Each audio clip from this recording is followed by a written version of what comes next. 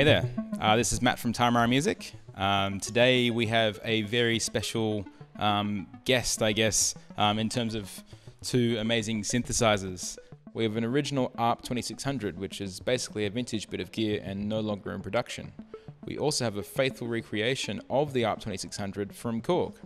Today we'll be comparing these two synths side by side in a fun way, not a scientific way, and in a subsequent video we'll be featuring Roger Mason, who is the owner of this original ARP 2600, to talk about the findings he's seen between the two units. So anyway, um, we'll get into it. Um, straight away we're just going to bring in an oscillator on both machines.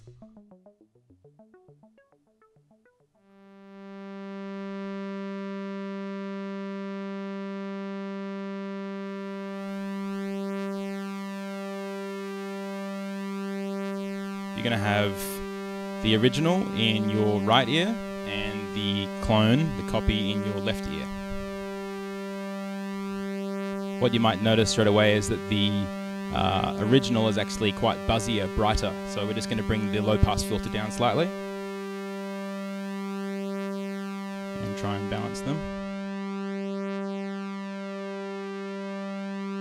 But yeah, it's quite a difference. Uh, we're now going to compare the three oscillators on each machine. Um, both have a pulse width oscillator on oscillators 1 and 2. Um, on oscillator 2, you can actually scan through the uh, range of the pulse width, um, getting narrower and wider. Oscillator 3 is a sawtooth on both. Here we go.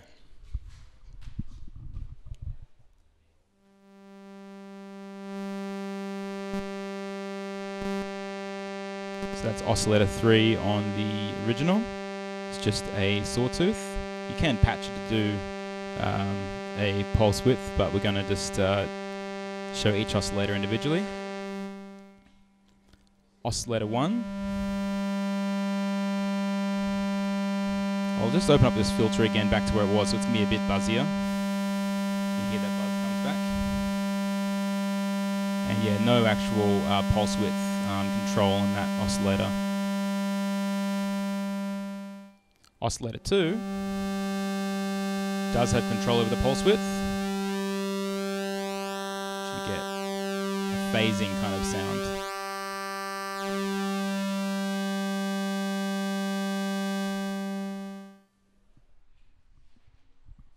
And now we have the clone. Oscillator 3. Not as buzzy. Still lovely. Oscillator 1, just pulse width, no control over that. Oscillator 2, we've got already sounding buzzy, but that's because it's a narrow pulse width. And we scan through that, and we're sort of narrowing and opening getting a sort of phasing sound.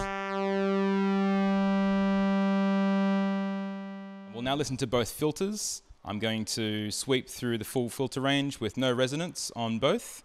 Uh, then we'll do 25%, um, 50%, and 100% resonance on, on both units and just hearing how it will self-oscillate this filter quite a lot so you can actually play the filter, uh, which is kind of cool. Um, but yeah, we'll do that now.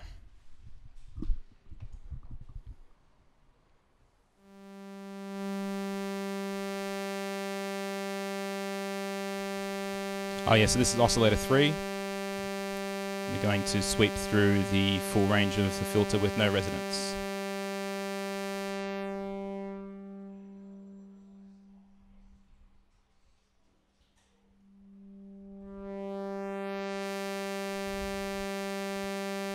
And now we'll go 25% resonance.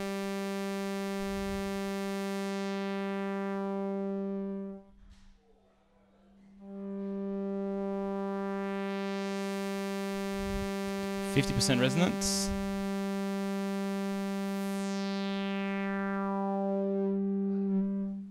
This sounds so good.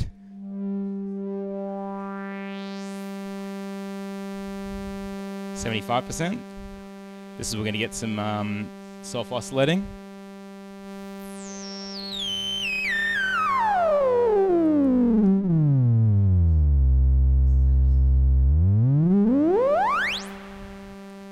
full resonance. Maybe turn down your speakers for a second.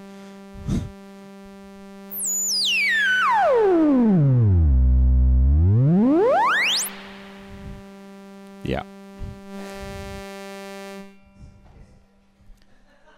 And the same thing on the clone. Oscillator 3 as well. No resonance. Just this being a new unit, the dials are really nice and smooth. It's quite easy to get that smooth range of, um, of sweep. And now we go 25% uh, resonance.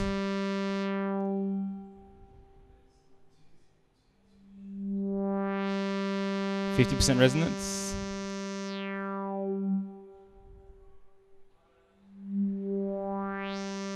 Seventy-five. Well, we're already getting resonance. Self-oscillating.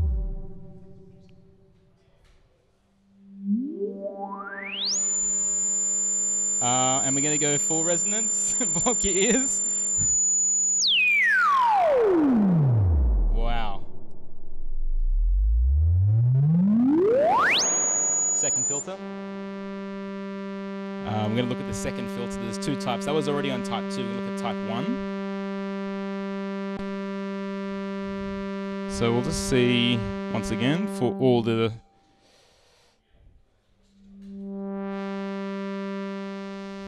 25% on type 1.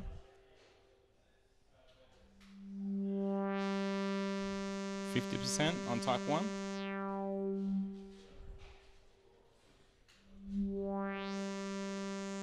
75% on type 1. Seems to be less resonance on, or less self-oscillating on that one. And then we're going to do full resonance. And once again, already self-oscillating, even at the filter being fully open.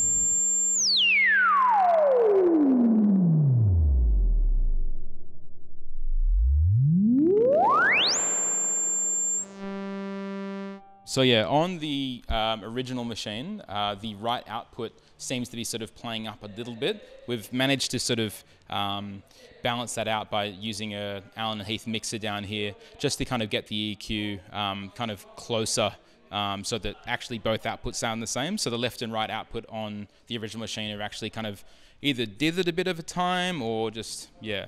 The oscillators on both machines, um, they do have fixed uh, oscillator destinations uh, as it is. But you can actually, if I get Simon to come in closer here, Simon, we can actually replace the oscillators on oscillator one. We can actually use a uh, sawtooth. Um, we can change it to square as well. Uh, on oscillator two, we have an option for sine, uh, triangle, sawtooth, and then oscillator three. Um, we have a choice of, it looks like it's almost like reverse sawtooth and a narrower pulse. So basically, we want to now look at each machine individually. Um, previously, we had each uh, machine in your left ear or your right ear, respectively. Um, but what we want to do now is just go full stereo with the brand new unit and just build a couple of patches, and then we'll do the same on the original.